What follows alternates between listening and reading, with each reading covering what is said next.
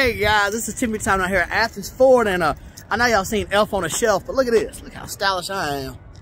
Woo wee boy, Santa Claus was good to me today.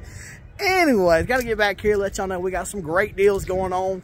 It's not yet Christmas, but we're like, what, one week away here at Athens Ford, so come on down. I got specials right now that we're doing right now. Just call them and ask me. We got F-150s, we've got F-250s, I've got Super Duties, I got diesels, I got gas, I got Explorers, I got everything. Let me show you real quick. Got some nice Explorers. Uh, we got new and used on the front. Oh, shit.